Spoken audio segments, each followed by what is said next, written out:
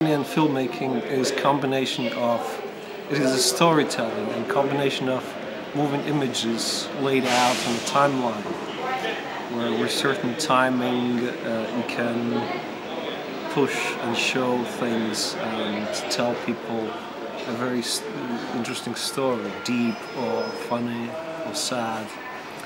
And uh, it takes time to learn how to timing, how to time pictures properly in a timeline. But the rest of it is just improvisation. Try to get an idea and just make it. Tell your story, what you believe, what you think, what you're scared of, what you love, what you hate. Just put it down and people will tell you. And then watching it through several times, you will understand how to improve your storytelling skills. When I look at myself in the mirror, I didn't find myself very attractive, so I thought, well, I can't be actor.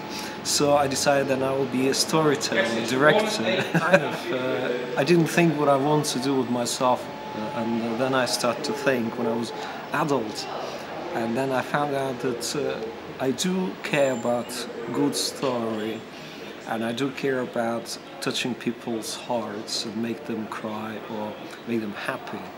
So to touch real person inside the person.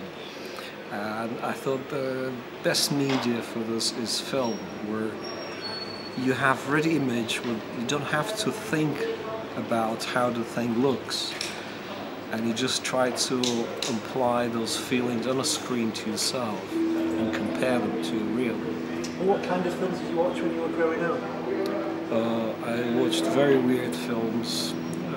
One period I was very into uh, horror movies. Then I was very much into very sophisticated movies like Tarkovsky, those kind of things. So I like deep movies.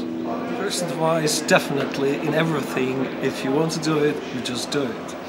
Uh, second advice, don't be afraid, just do it. And third advice, if you don't have money, still just do it. Because it's just about doing it and telling a story. And all people start liking it, uh, will somebody knock on your door and say, hey, can you do one for me as well?